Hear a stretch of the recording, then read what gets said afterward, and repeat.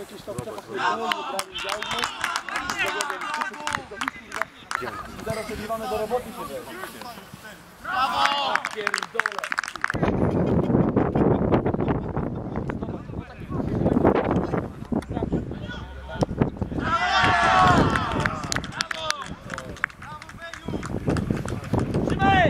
Ze gry swojego zespołu jestem bardzo zadowolony.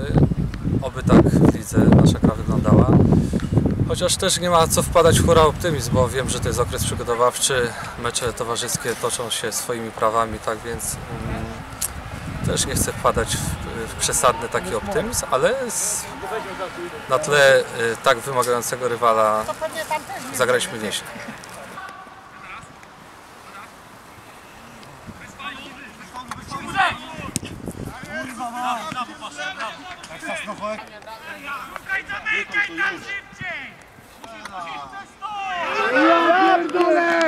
Zimny prysznic dzisiaj e, dostaliśmy od piątoligowej Gedani. E, Z różnych z e, powodów wyjazdów służbowych, e, rodzinnych i, i, i tych dolegliwości po ostatnich spotkaniach e, nie mogło zagrać kilku zawodników.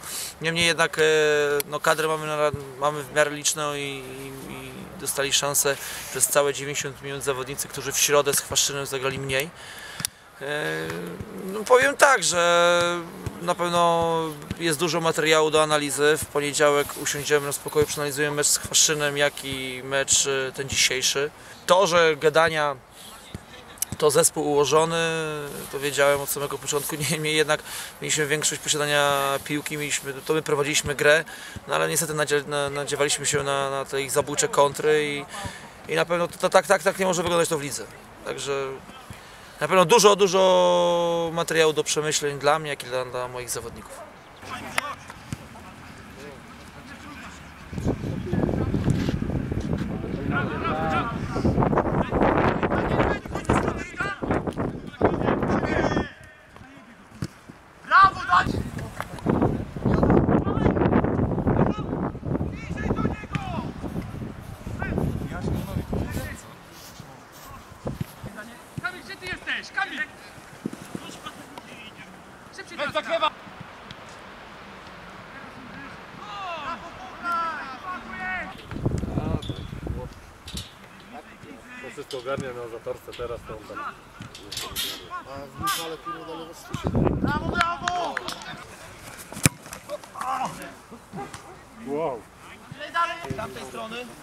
Brawo,